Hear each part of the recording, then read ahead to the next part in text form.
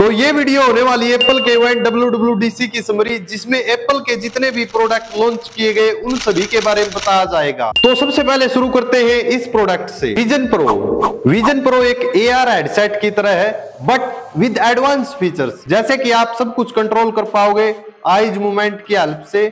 और एंड और वॉइस की हेल्प से।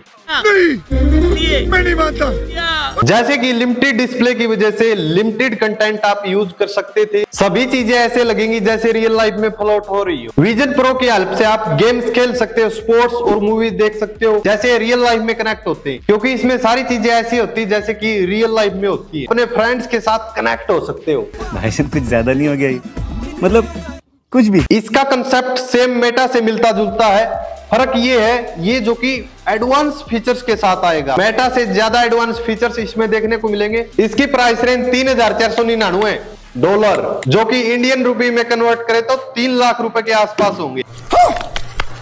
मुझे कमेंट में ज़रूर बताना विजन प्रो का कौन सा फीचर आपको सबसे बेस्ट लगा? अब बात करते हैं मैकबुक एयर की। ये जो कि 15 इंच की डिस्प्ले के साथ आएगा।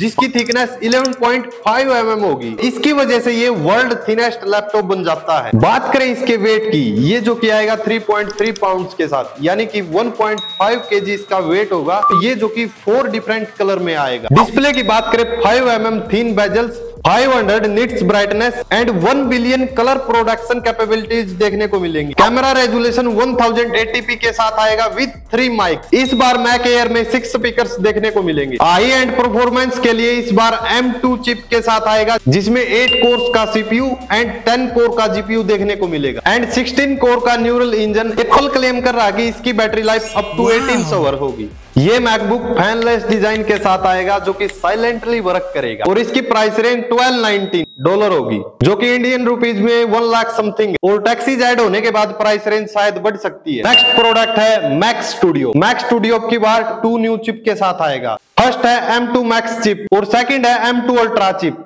तो सबसे पहले बात करते हैं M2 मैक्स चिप की। ये प्रोडक्ट 25 परसेंट ज़्यादा फास्टर है M1 मैक्स चिप से और 50 परसेंट ज़्यादा रेंडरिंग करता है M1 मैक्स चिप से। ये performance motion and graphic designers के लिए बहुत ही हेल्पफुल है। फोर्थ प्रोडक्ट मैक प्रो इस बार हमको M2 अल्ट्रा चिप के साथ देखने को मिलेगा, जो कि 2 M2 चिप को जोड़कर बनाई गई है अल्ट्रा फ्यूजन आर्ट्रेक्चर की हेल्प की मदद से। M2 अल्ट्रा की परफॉर्मेंस M1X से डबल है, जिसमें 24 कोर सीपीयू है, जो कि M1 अल्ट्रा से बेटर बनाता है M2 अल्ट्रा को। और इसका 76 कोर जीपीयू 30 परसेंट फास्टर है M1 अल्ट्रा से। 32 core neural engine is 40 percent faster than M1 Ultra क्या बात है, सर? क्या बात है, सर? M2 अल्ट्रा की परफॉर्मेंस को इहेंस करने के लिए 192 की यूनिफाइड मेमोरी दी गई है, जो कि 50 परसेंट ज़्यादा है। इसकी परफॉर्मेंस इतनी ज़्यादा है कि 22 वीडियोस एक साथ चला सकते हो, वो भी 8K प्रो रेजुलेशन के साथ। और 6 HDR डिस्प्ले एक साथ कनेक्ट कर सकते हो। है ना, कमाल के प्रोडक्ट